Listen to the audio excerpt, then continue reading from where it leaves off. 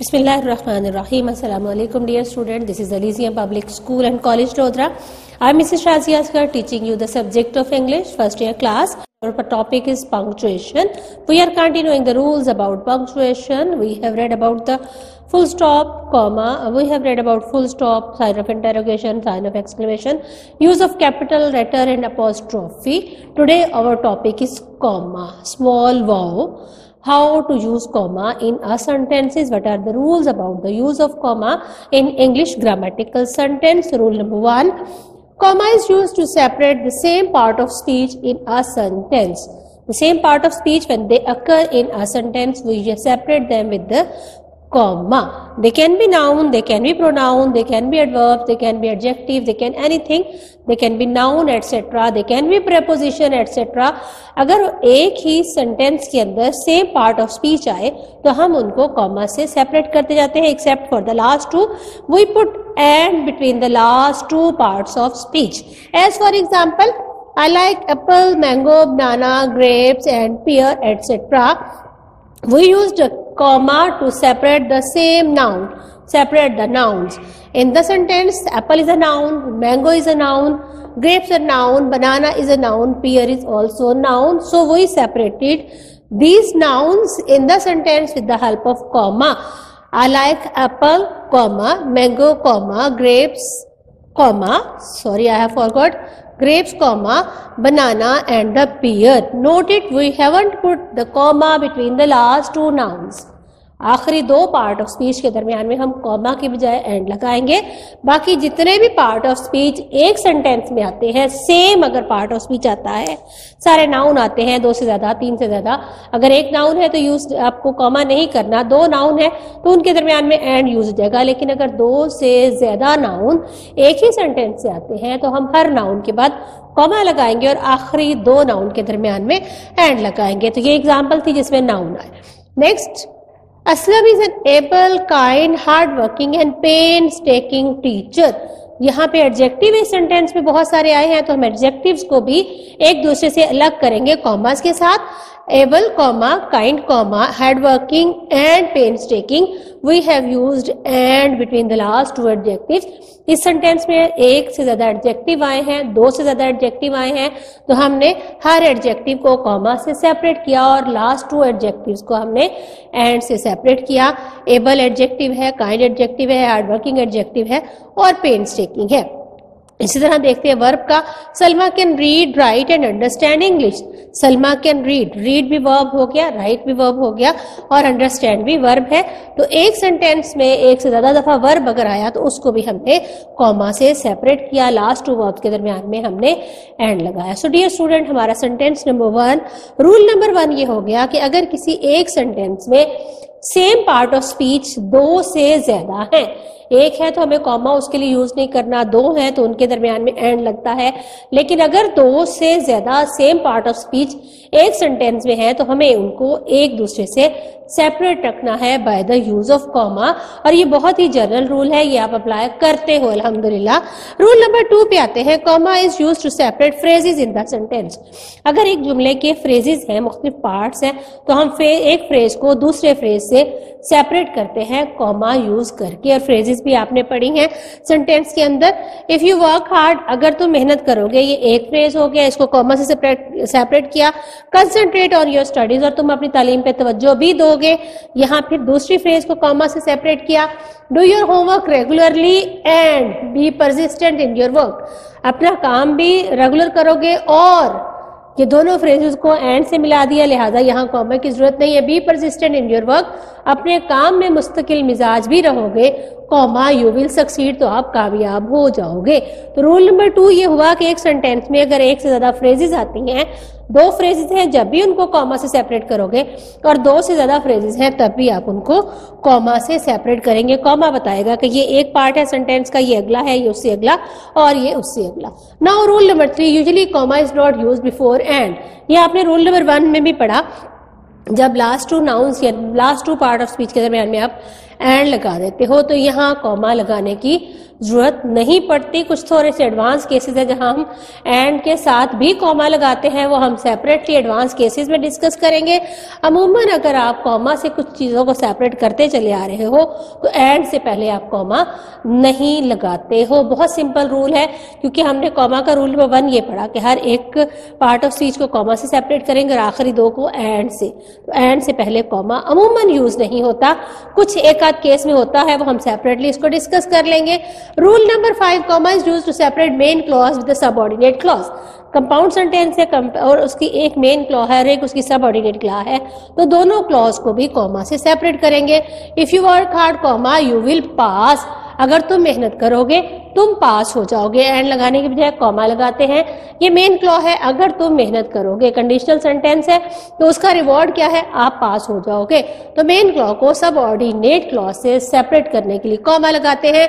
But मैंने बहुत बड़ा सारा बट लिखा ताकि आपको याद रहे कि इस रूल के अंदर डेविएशन भी है।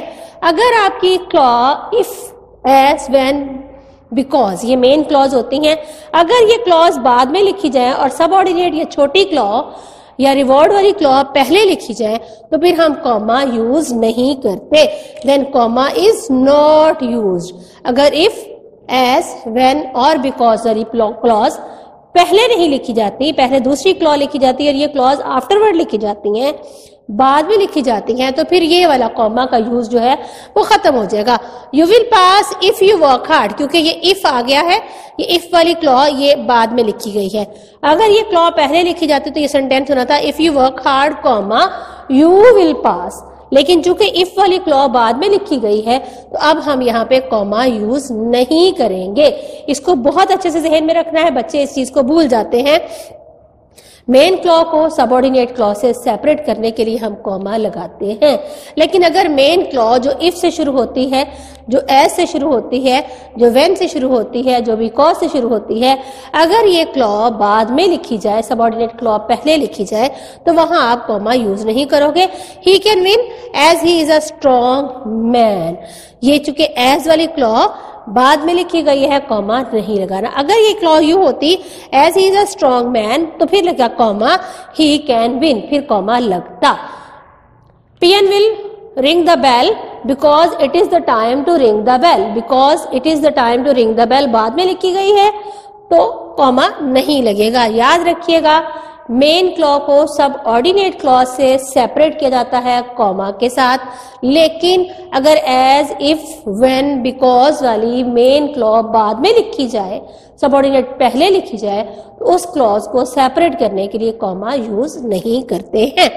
Next is when sentence begins with infinitive आपको इन्फिनेटिव और बेयर इन्फिनेटिव मैंने क्लास में बहुत दफ़ा बताए हैं। Infinitive is first form of verb पहली सिंपल फॉर्म को इन्फिनेटिव कहते हैं। अगर उससे पहले टू लग जाए तो वो इन्फिनेटिव है। और अगर टू के बगैर हो तो वो बेयर इन्फिनेटिव है। अगर एक सेंटेंस इन्फिनेटिव से शुरू होता है फॉर यानी टू और फ़र्स्ट फॉर्म ऑफ़ वर्ब से सेंटेंस स्टार्ट होता है तो उसको नेक्स्ट क्लॉज से सेपरेट करेंगे कॉमा के साथ। To win the prize comma he struggled hard उसने सख्त मेहनत की। टू विन द प्राइज, ये इन्फिनेटिव है। टू और वर्ब की फ़र्स्ट फॉर्म अगर कोई सेंटेंस इन्फिनेटिव से शुरू होता है तो उसको अगली क्लॉज से आप सेपरेट करने के लिए कॉमा लगाएँगे।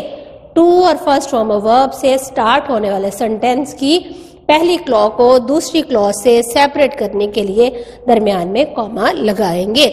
आमतौर पे जो छोटे मोटे पब्लिशर्स की बुक होती है प्राइवेट पब्लिशर्स की, वहाँ इस चीज़ की केयर नहीं की जाती, लेकिन आपको करनी है, क्योंकि उनको नंबर नहीं मिलने, आपने एग्ज़ाम में नंबर लेने हैं। This is rule number six now let us move to the next step rule number seven comma is use after these introductory words ये कुछ इंट्रोडक्टरी वर्ड्स हैं, ये सेंटेंस के शुरू में आ जाए, दरमियान में आ जाए, जहाँ भी आ जाए, इनके बाद कॉमा लाजमी लगाना है। इसके बारे में भी अक्सर प्राइवेट पब्लिशर्स या अक्सर बुक्स में अमूमन जो कॉमन सा लिटरेचर है, उसके अंदर ये केयरफुली नहीं लिखी जाती। आपको इन वर्ड्स को याद करना है और सेंटेंस में जहाँ भी आपके ये वर्ड्स आएँगे, इनके बाद आपने लाजमी कॉमा लगाना है। वर्ड स्टार्ट होते हैं देर फोर से रेड से स्टार्ट करके ब्लू पे मैंने खत्म किए हैं। Therefore comma however actually by the way so you work hard so that is so खाली so for instance on the contrary the whole the more furthermore, how surely consequently finally at last accordingly, in spite of, nevertheless, moreover, well, indeed, no doubt, thus, hence, nonetheless, as an example, for instance, ये इनको introductive words कहते हैं इसको आपने finger tip पे याद करना है सेंटेंस में जहाँ कहीं ये फिक्रेज वर्ड्स यूज़ होंगे, इनके बाद कॉमा लाजमी है। अगर आप कॉमा नहीं लगाते हो तो आपकी मिस्टेक मानी जाएगी और आपका नंबर काटा जाएगा। ये एक्सक्यूज मत दीजिए कि मैंने फ्ला स्टेट में मैं पढ़ा था फ्ला बंदे के पास पढ़ा था। अब मैंने दी हुई थी पेपर में स्टेटमेंट आपने पढ़ा था, उसमें मैंने कॉमा यूज़ नहीं किया। ये बुक में कॉमा यूज़ नहीं हुआ। आपकी बुक ओल्ड इंग्लिश में है। आपको इंग्लिश के सारे पंक्चुएशन के रूल्स फॉलो करने क्योंकि आपको पंक्चुएशन में नंबर लेने हैं। तो ये वर्ड्स भी आपको याद होने चाहिए और इनके बाद आपको कॉमा लगाना भी याद रखना है, भूलना नहीं है। नेक्स्ट रूल है comma is use to separate date and year अब आप कहीं डेट का ज़िक्र कर रहे हो, वहाँ डेट आती है और ईयर आता है मंथ आता है तो आपको उसको सेपरेट कैसे करना है? फॉर एग्ज़ाम्पल दिसंबर 16 2020 ये पूरी आप लेटर में अंदर लिखते हो तो मंथ के बाद आपने कॉमा नहीं लगाना। आपने लगाना है डेट और ईयर के दरमियान में कॉमा यानी 16 है और 2020 की है तो मंथ पहले से चुके। वर्ड्स में लिखा गया है तो इसलिए आपको उसको कॉमा नहीं लगाना। ये चूँकि सारे डिजिट है, अगर आप ये सारे डिजिट इकट्ठे लिख दो, सोलह, बीस बीस तो कोई भी नहीं समझ पाएगा कि ये क्या है। ये हो जाएगा एक लाख बासठ हज़ार बीस।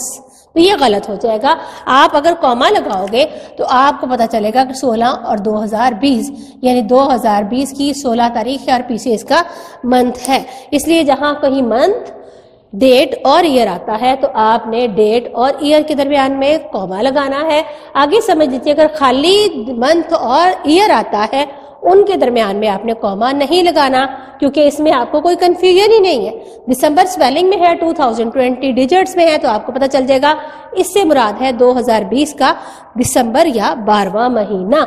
इसी तरह से अगर आपके पास सिर्फ़ महीना और साल है तो उसके दरमियान में भी आपने कॉमा नहीं लगाना। ये आपको पता चल रहा है 2020 का अप्रैल है। आपने डेट में जब भी आपने लेटर में लिखनी है, एप्लीकेशन में लिखनी है, कहीं यूज़ करनी है तो आपको दिसंबर, आपको डेट और ईयर के दरमियान में कॉमा लगाना पड़ेगा। बाकी दो चीज़ें अगर आती है तो उसमें कॉमा नहीं है। आपको ईयर और डेट को सेपरेट करने के लिए कॉमा लगाना है। इसी तरह आप एप्लीकेशन में आप कॉमा यूज़ करते हो एप्लीकेशन लिखते हो, या एड्रेस लिखते हो, जब आप एड्रेस करते हो, किसी को मुखातिब करते हो, उसके आखिर में कॉमा लगाना है। My dear father comma my dear sister comma आप लेटर लिख रहे हो, या the principal comma dear sir comma respected madam comma etcetera तो एड्रेसी के बाद आपको कॉमा लगाना लाजमी है, और लेटर एप्लीकेशन में इसके नंबर होते हैं। आपने अगर ये स्किप कर दिया तो आपके नंबर स्किप हो जाएँगे। Comma is use after reporting part of speech direct indirect फिक्रे में जब हम डायरेक्ट फिक्रा लिखते हैं तो उसमें जो रिपोर्टिंग पार्ट ऑफ़ स्पीच है, जो पहले लिखा हुआ छोटा हिस्सा होता है, उसको कॉमा से सेपरेट करते हैं और फिर इसके बाद जितने भी रिपोर्टेड पार्ट ऑफ़ स्पीच है, उसको आप इन्वर्टेड कॉमास में लिखते हो और इन्वर्टेड कॉमास हम सेपरेट रूल पढ़ चुके हैं। कॉमा का रूल हमने पढ़ना है। आपने रिपोर्टिंग पार्ट ऑफ़ स्पीच के बाद कॉमा लगा के अगली रिपोर्टेड पार्ट ऑफ़ स्पीच लिखनी है। Next is comma is use to separate the tag question देख द स्टेटमेंट स्टेटमेंट दी जाती है और उसके साथ क्या ऐसा नहीं है? ऐसा ही है. कंफर्मेशन के लिए छोटा क्वेश्चन होता है. उसको हम कहते हैं टैग क्वेश्चन टैग लग गया है. She is clever isn't she it's very hot isn't it बहुत वो चलाक है. क्या नहीं है? तो ये जो क्या नहीं है, ये टैग क्वेश्चन है, क्योंकि इसकी पूरी स्टेटमेंट नहीं है. ये पीछे वाले स्टेटमेंट को टैग करता है कि क्या ऐसा नहीं है। तो ये जो टैग क्वेश्चन है, इसके आखिर में तो साइन ऑफ़ इंटेरोगेशन लगेगा, इतना पोर्शन क्वेश्चन का है और ये बाकी वाली स्टेटमेंट है। तो टैग क्वेश्चन को स्टेटमेंट से सेपरेट करने के लिए कॉमा लगाते हैं। टैग क्वेश्चन ऐसे क्वेश्चन जिसका आंसर यस या नो में दिया जा सके या जो स्टेटमेंट बयान की जा रही है उससे मुतलिका है। तो tag question is separated from the statement by a comma introductory clause also require commas before and after them एक सेंटेंस के अंदर आप कोई ऐसी क्लॉज छोटा सा पार्ट ऑफ़ सेंटेंस घुसा रहे हो, जिसके बगैर गुजारा हो सकता है, जो सिर्फ़ मजीद तफसील बताता है, मजीद इंट्रोडक्शन करता है एक्सप्लेनेशन करता है, उसे हम कहते हैं ठौंसी जाने वाली क्लॉ उसके बगैर भी गुजारा हो सकता है।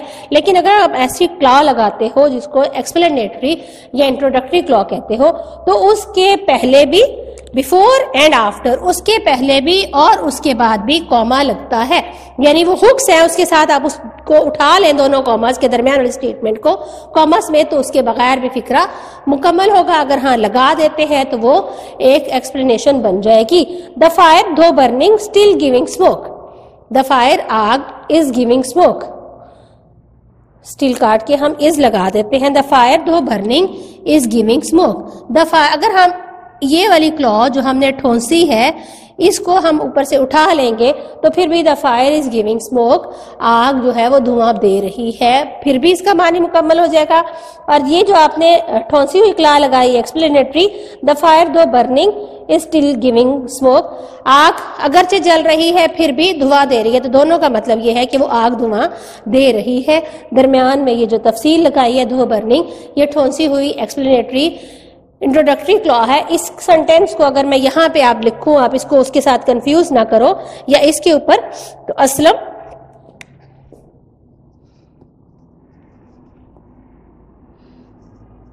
और साइंस टीचर इज़ कमिंग ये जो ओवर साइंस टीचर है, ये इस कॉमा और इस कॉमा के दरमियान में है। तो ये सिर्फ़ और सिर्फ़ एक्सप्लेनेशन दे रहा है असलम का। एक्चुअल फिक्रा क्या है? असलम इज़ कमिंग असलम आ रहा है। तो दरमियान में जो हमने ठोंसा है इंट्रोडक्शनरी एक्सप्लेनेटरी है ओवर साइंस टीचर असलम जो कि हमारा साइंस टीचर है इज़ कमिंग वो आ रहा है। अगर हम इस ओवर साइंस टीचर निकाल दें तो तब भी इसका मतलब यही रहेगा, असलम इज़ कमिंग असलम आ रहा है। और ये जो दरमियान में क्लॉ है, जिसको हमने दो कॉमास के दरमियान में लिखा है, इसके शुरू में भी कॉमा लगाया है, इसके आखिर में भी लगाया है तो ये जस्ट इंट्रोडक्टरी या एक्सप्लेनेटरी पार्ट ऑफ़ सेंटेंस है। जिसको के बगैर गुजारा हो सकता है, लेकिन अगर सेंटेंस के अंदर ये इस तरह का पार्ट आता है तो आप उसके शुरू में भी कॉमा लगाओगे और उसके आखिर में भी कॉमा लगाओगे। These are all twelve rules for the use of comma आपको एक सेंटेंस में सेम पार्ट ऑफ़ स्पीच है तो उसको कॉमा से सेपरेट करना है। आपको आपको एक सेंटेंस के अंदर फ्रेजेस हैं तो उसको कॉमा से सेपरेट करना है। आपके सेंटेंस के अंदर अगर कंडीशनल सेंटेंसेस हैं या मेन क्लॉ को सबऑर्डिनेट क्लॉ से सेपरेट करने के लिए कॉमा लगाना है, लेकिन अगर एज इफ़ वेन और बिकॉज़ वाली क्लॉ बाद में आती है सबऑर्डिनेट क्लॉ पहले आती है तो आपको कॉमा यूज़ नहीं करना। एंड से पहले आपने कॉमा नहीं लगाना। कुछ इंट्रोडक्टरी वर्ड्स हैं, जिनके बाद आपने कॉमा लाजमी लगाना है। आपको डेट को ईयर से सेपरेट करने के लिए कॉमा लगाना है। आपको एड्रेसी के बाद कॉमा लगाना है लेटर या एप्लीकेशन में। आपको कॉमा यूज़ करना है रिपोर्टिंग स्पीच के बाद। आपको कॉमा यूज़ करना है टैग क्वेश्चन को स्टेटमेंट से सेपरेट करने के लिए। और आपको कॉमा यूज़ करना है इंट्रोडक्टरी क्लॉ को या एक्सप्लेनेटरी क्लॉ को सेंटेंस के दरमियान में जब यूज़ करते हो तो उसके शुरू में और आखिर में कॉमा यूज़ करना है। आई होप कि आप इसको बेटर अंदाज में समझ चुके होंगे। इसको आप फोल्डर पे लिखिए और इनको याद कीजिए। ये वाले रूल्स आपके अगले टेस्ट के पार्ट में इनशाला क्वेश्चन होगा। आई होप कि समझ आ जाएगी। अगर आपको कोई चीज़ अभी भी कंफ्यूज करती है तो आप मेरे पर्सनल नंबर में कांटेक्ट करके इसको मुझसे पूछ सकते हो। स्पेशल इस लेक्चर के बारे में जो मैं कहूँगी, वो ये वाले वर्ड्स आपने लाजमी याद करने हैं कि किसके बाद आपको लाजमी कॉमा लगाना है।